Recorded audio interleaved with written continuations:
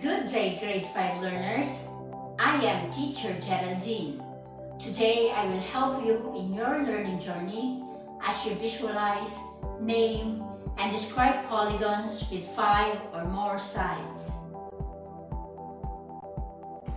Let's study these figures. What do you think are the similarities of the figures? Yes, they are close plane figures bounded by a straight line. All figures have sides, vertices, and angles. All given shapes are flat. Let's take a look on what a polygon is. It is a Greek term which means many angles.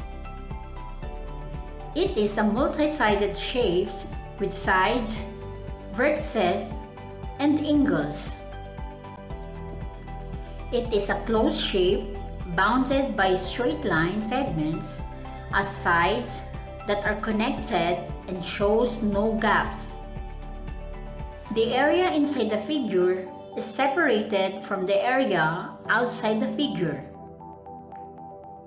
It is a 2D or two-dimensional shape, which means the figure is flat. Now that you have some ideas about a polygon, let's have a quick game. Tell whether the figure is a polygon or not.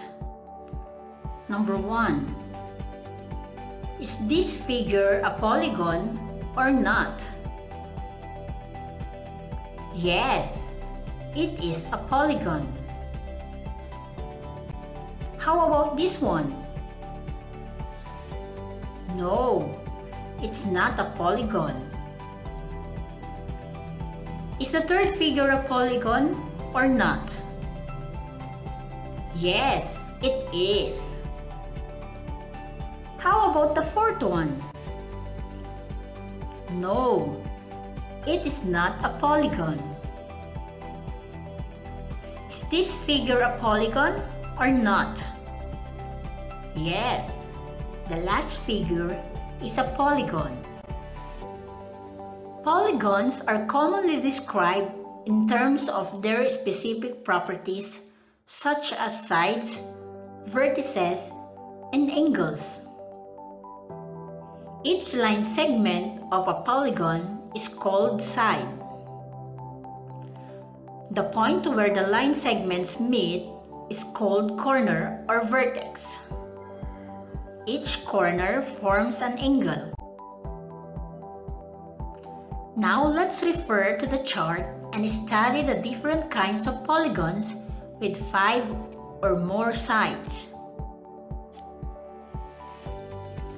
Pentagon. It has five sides, five vertices, and five angles. Hexagon.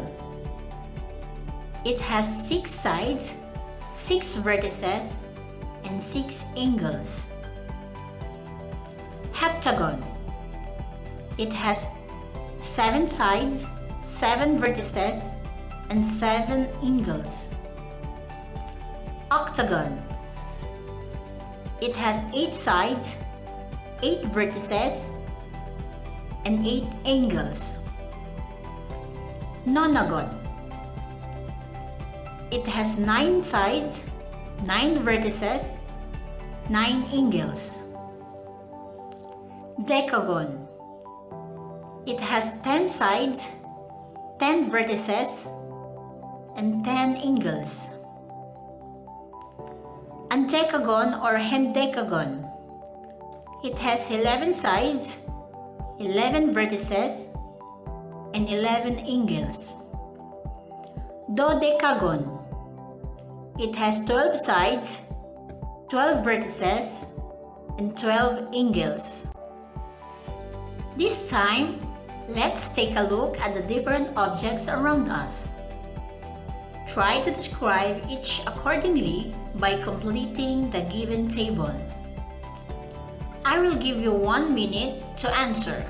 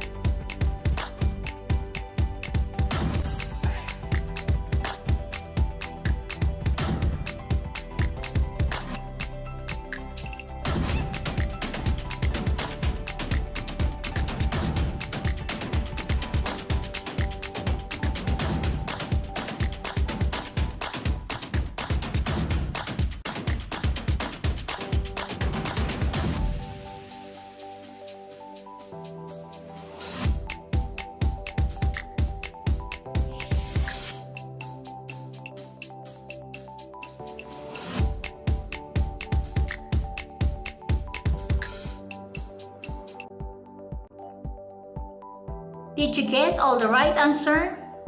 Check this out. You all did a great job.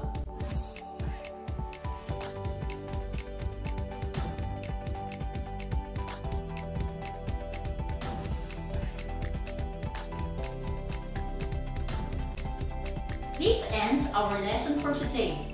Again, this is Teacher Geraldine wishing you a wonderful day. Happy learning!